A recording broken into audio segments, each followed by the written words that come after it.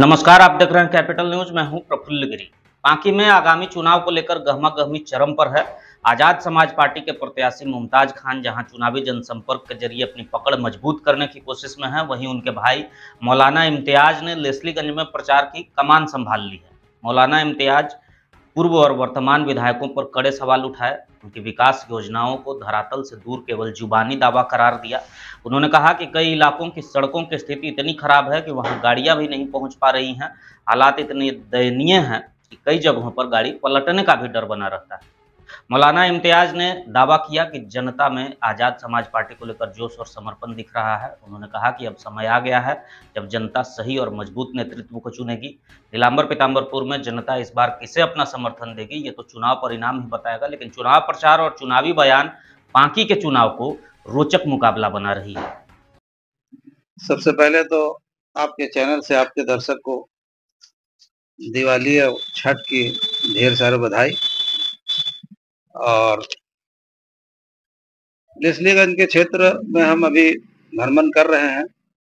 पूरे इलाके में घूम रहे हैं। लोगों का भरपूर समर्थन मिल रहा है।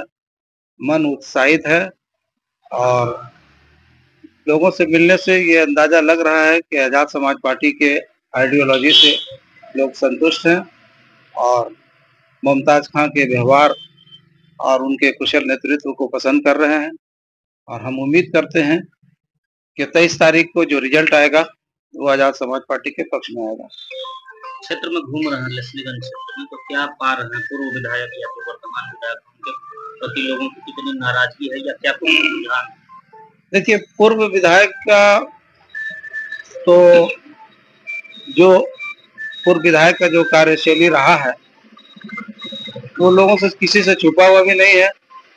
और वर्तमान विधायक और पूर्व विधायक दोनों के प्रति लोगों में काफ़ी आक्रोश दिख रहा है।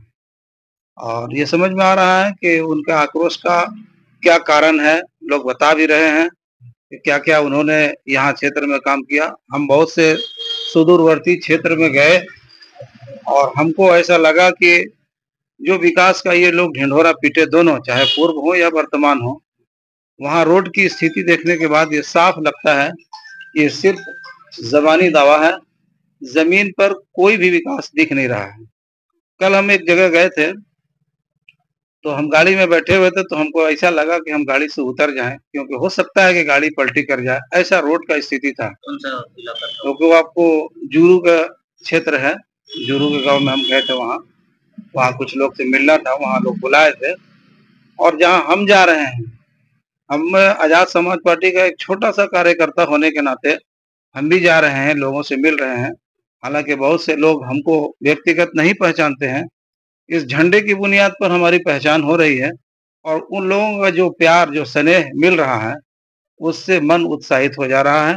हम कल ही शाम में बोले थे कि जो लोग यहाँ विकास का दावा करते हैं, वर्तमान हो या पूर्व हो, उन लोगों को आपका यहाँ से क्या गुजर नहीं हुआ था, जो रोड की स्थिति है?